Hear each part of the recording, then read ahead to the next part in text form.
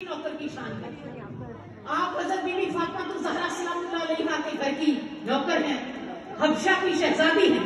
आपने जब सब कुछ छोड़ दिया आप फरमाती हैं मुझे ज़िंदगी में उस कुर्सी के ऊपर इतनी लज्जत नहीं आई जब से मैं बीबी फातिमा तो जहरा सलाम के घर में आई हूँ मुझे नौकरी का बड़ा मज़ा है आप जब जिस सवारी के ऊपर हज़रत बीबी फातिमा तो जहरा सलाम रोज़े मैक्सर में इंशाल्लाह सवार होकर आएँगी सत्तर हज़ार हूरों के दरमियान में आपकी पालकी होगी आपकी पालकी जब आएगी उसकी मुहार हज़रत बीबी फिजा के हाथ में होगी। इस्लाम आप हज़रत बीबी फातिमा तो सहरा सलाम से पहले जन्नत में जाएगी।